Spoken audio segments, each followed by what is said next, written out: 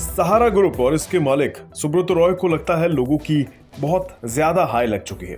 इसलिए शायद आज तक उनकी मुश्किलें अब कम नहीं हो रही हैं। इन लोगों ने पहले तो लोगों को अच्छे से ठगा और फिर खूब पैसा बनाया। अब जुर्माने की रकम ना जमा करने से इनकी तकलीफें बढ़ती जा रही हैं। दरअसल बाज़ार नियामक सैबी ने ओएफसीडी जारी करने में रेगुलेटरी स्टैंडर्ड्स के वायोलेशन के मामले में सुब्रत रॉय और बाकी अधिकारियों से जुर्माना वसूला है। ये जुर्माना करीब छह दशमलव पाँच सात करोड़ रुपए का है, जिसमें ब्याज और बाकी शुल्क भी शामिल है। आपको बता दें सेबी ने इस मामले में दिसंबर में ही सहारा प्रमुख सुब्रत रॉय और अन्य अधिकारियों के बैंक और डीमेट खातों को क्रुक करने का आदेश दिया था।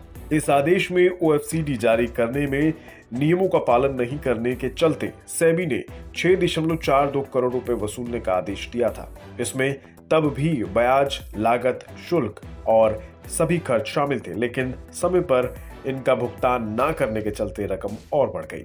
आपको बता दें, सेबी ने जून 2022 में इन कंपनियों पर 6 करोड़ का जुर्माना लगाया था, जिसका भुगतान नहीं होने पर वसूली की कार्रवाई की जा रही है। अगर आप ओएफसीडी को लेकर सोच में पड़ गए हैं तो बता दें, ये जनता से पैसे उधार लेने का एक तरीका होता है, जिसके बदले में ब्याज चुकाया जाता है। साथ ही इसके ज़रिए निवेशक कंपनी के हिस्सेदार भी बन सकते हैं। हालाँकि ओ के कुछ नियम होते हैं। जैसे अगर 50 से कम लोगों को एफ़ जारी होती है तो कंपनी रजिस्ट्रार से अनुमति लेनी होती है। वहीं अगर 50 से ज़्यादा लोगों को एफसीडी देनी हो तो सेबी से परमिशन लेनी पड़ती है। बस यही सहारा ग्रुप से चूक हो गई। कुछ नियमों का पालन सहारा ग्रुप द्वारा नहीं किया गया जिसका भुगतान कंपनी आज तक कर रही है। इस मुद्दे पर सेबी का कहना है कि सहारा ग्रुप की कंपनियों द्वारा लोगों से ओ के लिए पैसा लिया गया, लेकिन उनका जोखिम कितना बड़ा है, इससे जुड़ी कोई जानकारी उनको नहीं दी गई। जिस कारण से सेबी के मुताबिक सुब्रत रॉय और बाकियों द्वारा आईसीडीआर यानी issue of capital and disclosure requirements regulation का उल्लंघन किया गया। साथ ही पीएफयूटीपी यानी prohibition of fraudulent and unfair trade practices का उल्लंघन भी किया गया है। अब बात सहारा मामले के इतिहास पर। यह मामला शुरू हुआ था 2009 में। तब सहारा ग्रुप की एक कंपनी ने शेयर मार्केट में जाने की इच्छा जताई थी। अब आपको भी पता है कि शेयर मार्केट में जाने से पहले सेबी से परमिशन लेनी पड़ती है। ऐसे में सितंबर 2009 में सहारा प्राइम सिटी नाम की कंपनी ने सेबी को आईपीओ लाने के लिए डीआरएचपी भेज दिया। यानी मार्केट से पैसा उगाही के लिए अपना बायोडाटा भेजा।